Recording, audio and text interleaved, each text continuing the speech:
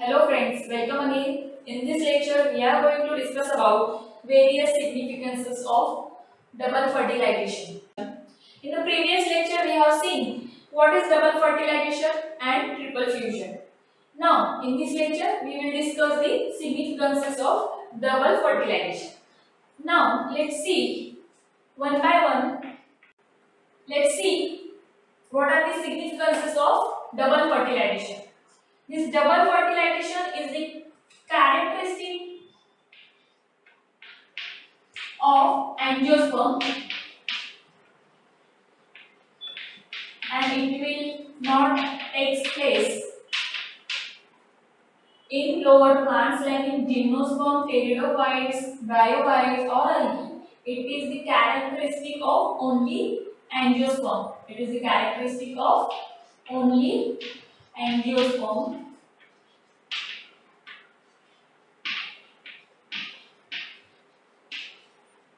These are most evolved plant and hence seeds of embryo seeds or the embryo of angiosperms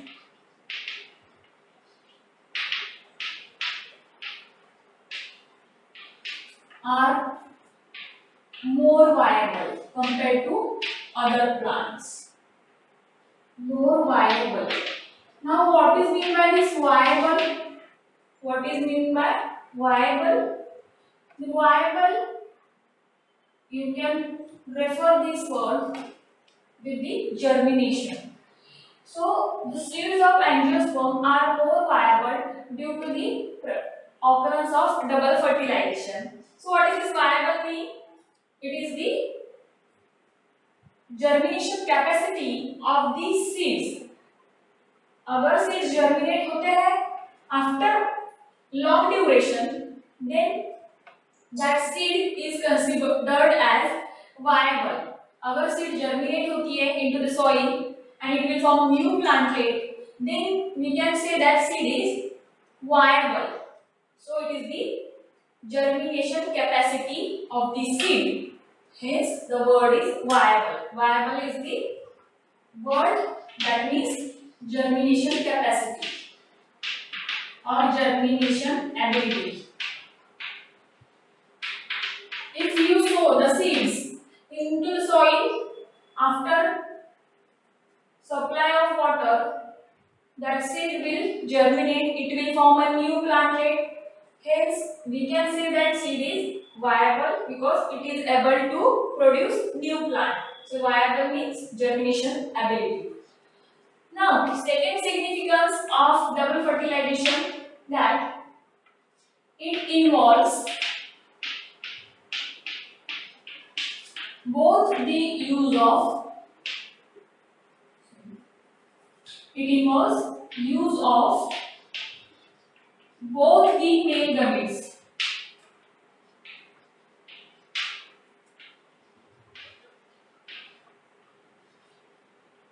it involves use of both the male gametes produced by the pollen grain pollen grain produce two male gamete and that two male gamete are utilized in the process of double fertilization. So, it involves the use of both the male gametes produced by the pollen grain. Third significance is that double fertilization produce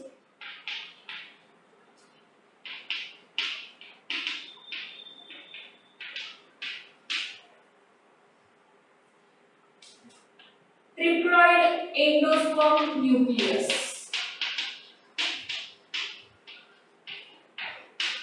That we have seen in double fertilization that is also known as tri- triple fusion.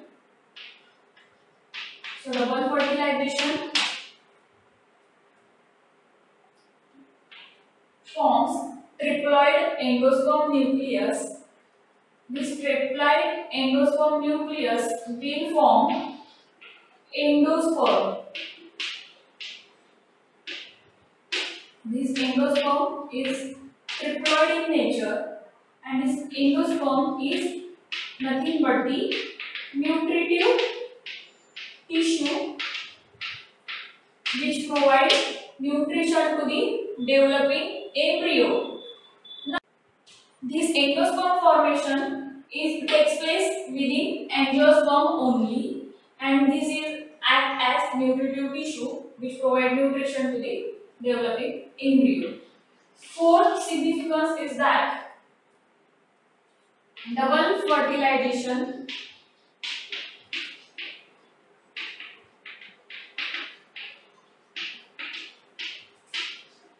gives two products.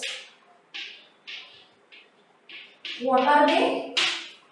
One is one is zygote that will further develop into new plant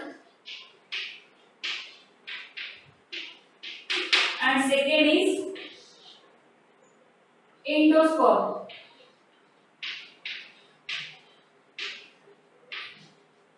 it is a nutritive tissue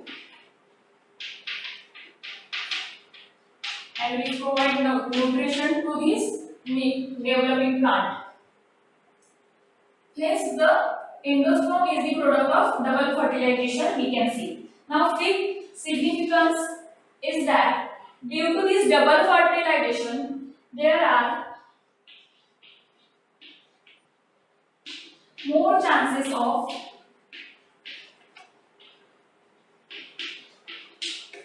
chances of polyembryony.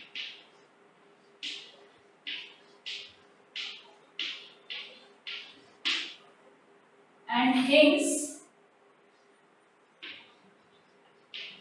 it result into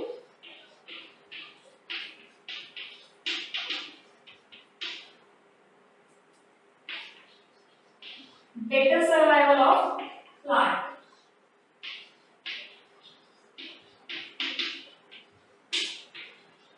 This double fertilization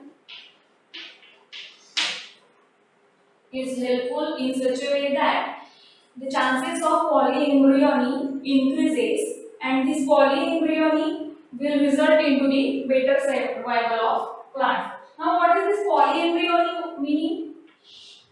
What is this polyembryony word suggest? Poly means many and embryony is many embryos.